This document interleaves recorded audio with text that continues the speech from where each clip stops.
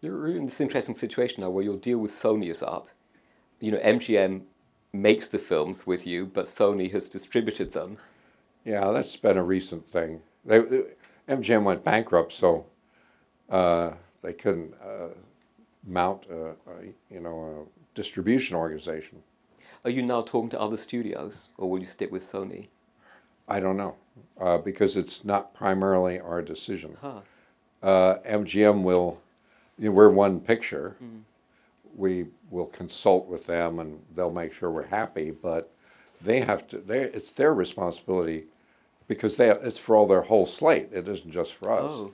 And so we, they will, will do it, and then they'll talk to us about it. And but of the three people they're considering, all of them are more than suitable with us. They're all fine. Have you met with those studio executives? Yes.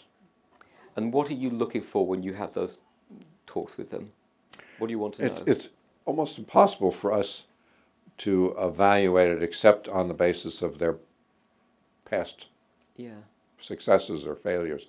That's the only thing you can use. Uh, it's you know until you work with people, you can't evaluate their marketing uh, executives or their uh, publicity people or their, which is primarily our point of contact with them. Uh, and so, you and and we really run.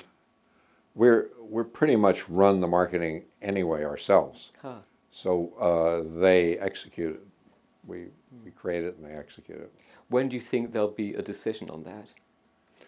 Uh, probably in January, February. I don't know. Mm.